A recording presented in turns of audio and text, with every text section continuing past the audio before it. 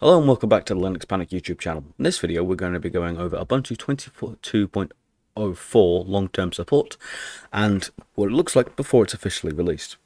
Now before we go any further, don't forget to hit the like and subscribe button so you don't miss out on any future videos and also give that notification bell a good old ring.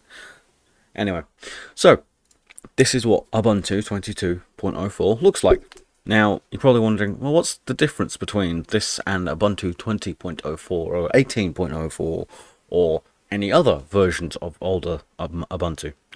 Well, it's quite simple. Uh, they've switched over to using GNOME 42. Now, if you are a Fedora Linux user, you will notice that this looks exactly the same to what you're currently used to because Fedora uses GNOME 20 uh, GNOME 42.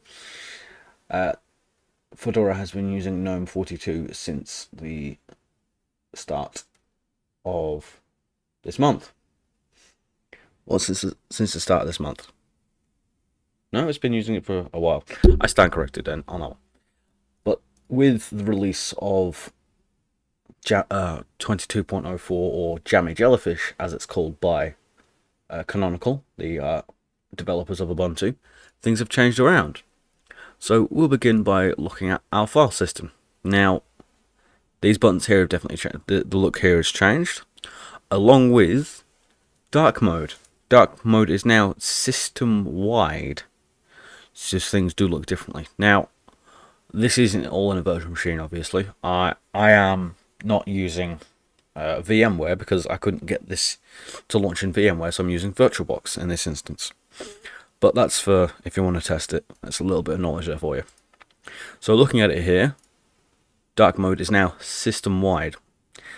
So if we look, we'll just switch it back to light mode for the time being, just so I can show a couple things off. Now, with these color options, it changes how things looks. It changes uh, the little like tabs on the files here. The Ubuntu software should have changed it appears it hasn't done that's perfectly fine because at the moment this is on I am currently using the daily release version so there are expected to be a few bugs but what you see here should be what is officially released as everything has been put on a final freeze as of two days ago so what is currently available is what will be released on uh, April 21st so this is the final version at the moment. Nothing else should be done. Nothing else should be released. This is the, this is it. Now, let's assume you want to you, you you like the new version of Ubuntu and you want to move over to it and dual boot it. Now, you can't quite do that straight off the straight out of the bat because you used to be able to do it on older versions of Ubuntu, but with Ubuntu 22, you can't do that because of what they've done with the operating system. Previously, whenever you used another version of Ubuntu, it would have something called the OS prober, which would look for other operating systems on the same drive. So, for instance, if you had Windows partitioned on half of it and you've got uh, Fedora on one on, on another partition, you want to just uh, section away 30 gigabytes worth of space for Ubuntu, when installing Ubuntu, it would show you what the partitions were and what other what other operating systems were on it. In this version, it doesn't do that by default. You have to change uh, the grub file. I'll show you how to do that here. So we want to open a terminal. Uh, it's given the usual yada yada yada, and we are going to go to. We're going to do the following. We're going to go nano slash et sli slash default slash grub and it's going to say it's unwritable because I need to give it the sudo. So it's going to be sudo double exclamation mark. And then we need to come down to this line here and type the following. Grub, uh, disable, how if I can spell, disable OS probe, prober equals false. So what's that, what that's going to do is going to say, hey, look, I want you to probe for other OSs on this disk so it doesn't accidentally write over others and you can actually see what's there. So once that's done, we need to update the grub. So we need to do sudo update grub and what this will do is it'll look for any other operating systems on the disk and just go, oh, I'll put and put into the bootloader. Now, as we can see, it's just done. There's nothing here. This is just a clean 30 gig a virtual machine, so nothing else should show up. Now, we, we can go over a couple changes. With the changing of Ubuntu uh, to 22.04, with, it moved entirely over to Fedora uh, 42, so things will have changed, such as uh, the calendar, for example. This previously wasn't on. Let's just look at calendar here. This is currently on GNOME 41.2, so this has been updated. This is something something similar to what you would see on Fedora, for example. Now, I've noticed this whilst uh, when I did the video on Fedora, installing it a, a while back. Uh, I'll try and put a card in the top right-hand corner of the video here. I'm just got to remember where I put it. Five minutes, okay. So, that's what why I used to. We've got Rhythmbox now. This is your basic sound thing like for music and such. Um, but yes, the uh, the icons have changed around. You got the jellyfish. This isn't cursed. It doesn't look as bad as the previous ones. So if we uh, just want to change the background, for example, we have some more choices. We have a like, simple jellyfish there. We've got a like dark theme jellyfish, a grayscale jellyfish, as well as a that. I, I don't know how to describe that one. But for example, like stuff like this has changed. And something interesting that I have found, these files here, you couldn't previously move them away from here. Well, now you can. You can move them off, away, and just put them somewhere else. Now you may have noticed when dragging these around, it's got squares. It's actually allowing you to tile better. So if you want to move it here, move it there, you just move them everywhere. Just move them all up. Now has tiling, which is realistically something that should have already have been there considering it's a well, considering this is a very like basic basic feature that Windows has had for a long long time, and should have already been here. I know other I know other operate, uh, uh, Linux operating systems have it, so why it took this long to get here, I don't know. That reason why that's not working is because I said keep stacked by type.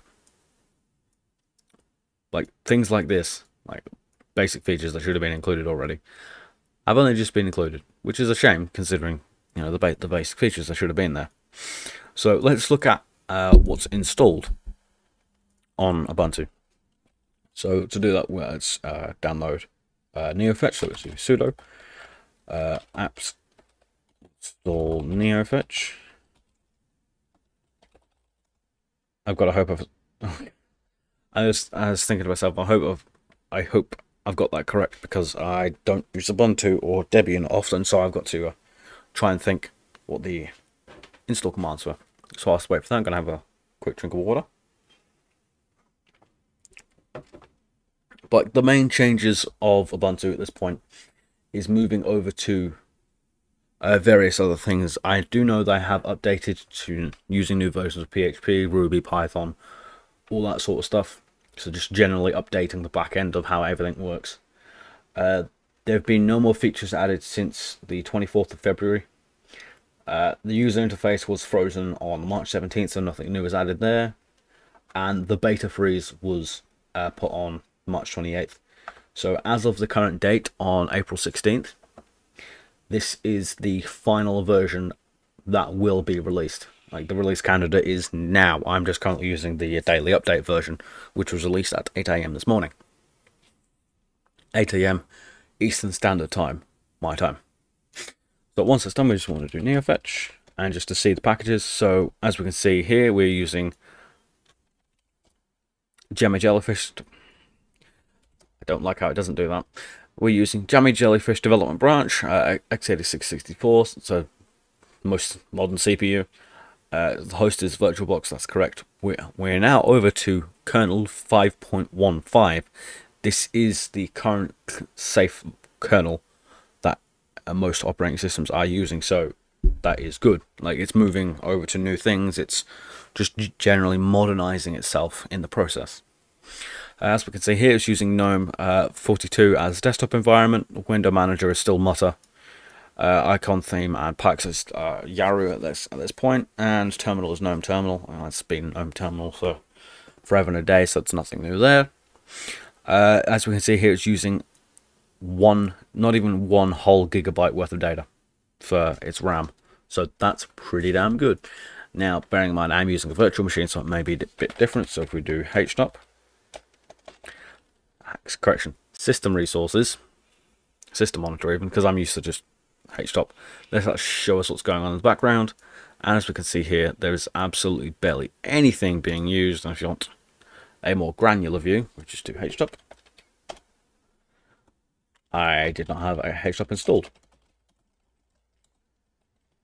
But of course with Ubuntu it's just lightweight, it's no bother at all. And we can just see it's using barely anything at all. It's using not even a whole gig worth of data. Well, just the whole gigabytes worth of data, should I say. But it's, it's uh, basically, it's just updating itself, it's updating the back end, and it's becoming more modern looking. It's the one close the terminal. So all it's doing is just becoming a modern version of Ubuntu. Not really much has changed, it's just catching up with other operating systems as well. Like basic features like moving files around, it's now tiling. And you can actually just stick, you can move them out of home, which is, it's good to have it all in one place, but at the same time, if you want to try and get to documents from the desk, or if you want to try and get documents through the command line, you've got to do uh, CD uh, documents from. There we go. I just need to CD desktop CD documents.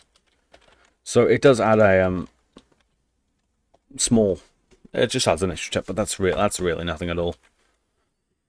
But yeah, this is all Ubuntu is now. It's just updated. It looks nicer. It works nicer. You've got multiple desktops now to work with that are independent, that can be independent of each other, but also the same. They can be like the same work environment. Ow, I dropped my phone.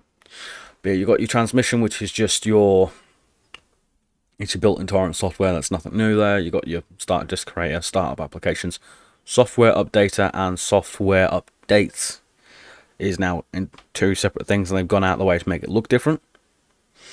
As we can see here, we've got the movement moving across. I'll actually show you what's there, which I, I really I like a little bit. It looks alright. Uh, the utilities on older versions of 22 point on older versions of Ubuntu 22. Uh, this wasn't a folder. They've now added this in as a section. So they've updated this. They've changed this around. Uh, the videos I were watching didn't have this. I, of course, I'm now looking at the frozen version. So this has, this is what you will get. Uh, they've also changed the screenshot tool. It's now called Cheese. And if it doesn't want to die, oh no, hang on, that's not the screenshot tool, that's the camera tool. I don't currently have a camera plugged in. Uh, so we want to do take a screenshot. So things have changed. We now have a selection grid. Looks nicer. We can just select select sections of this. We can go screen. We can go Windows. Uh, we can have a like screen recording of a certain area, and we can also have it so it shows the pointer. So, for example, let's just move this Gonna go selection, just move the selection box to so it's just over the screenshot tool. Now, what I like about this is it doesn't capture the screenshot tool in the screenshot. I don't know why that took, sounded like it took multiples. I don't know why they saw the need to add the sound for it. It doesn't really make sense. But in general, a lot of things have been updated to the current version of GNOME. As we can see, GNOME 42 is the latest version uh, for the files. Uh, everything everything should be getting updated. Uh, from what I can tell, the Ubuntu software not changing appears to be, with the theme of the operating system, appears to be a bug. I do know that when I was trying to install this, it was it was having some issues when changing resolution. Now that could just be down to the fact I was just asking the operating system to change resolution in the installer. It didn't really like that. That I can understand. Uh, so then for the uh, Ubuntu software suite, it's just the general look at as it's been for quite a while now. It's really nothing new. Uh, they've just got that, just what it looks like now. Nothing really new. As we can see here, this looks different. Didn't used to previously look like that. I'm going to guess it's uh, a GNOME change a lot of these changes you will see are just down to GNOME, and that is all it is. So you will have to get used to how it looks and working with it. So we're just going to go over to dark theme and just change it to purple. The Ubuntu shopping basket should have changed, but it hasn't done. And as we can see here, for some reason, when we changed...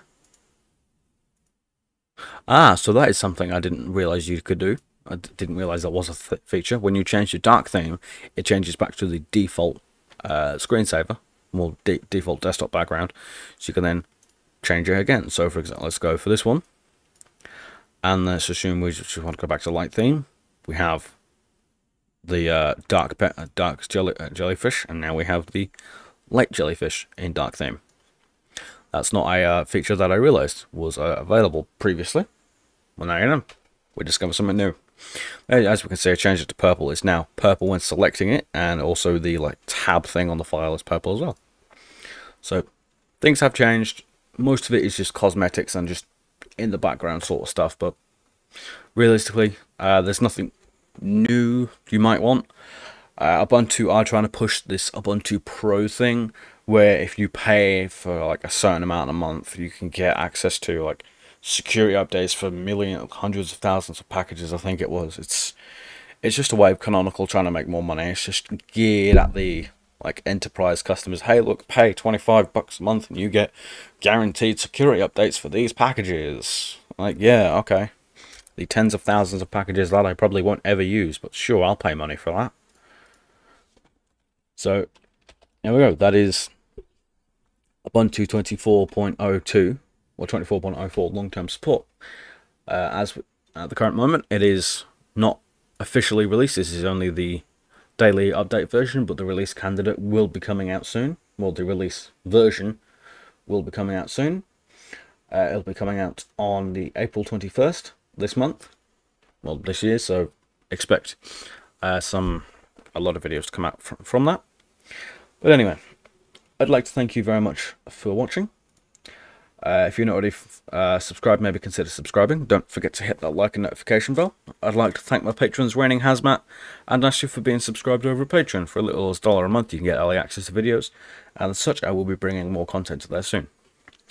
Anyway, I'd like to thank you very much. I'd like to thank you very much for watching. I've been Nick. You've been amazing. I hope you have a good rest of your day. Goodbye.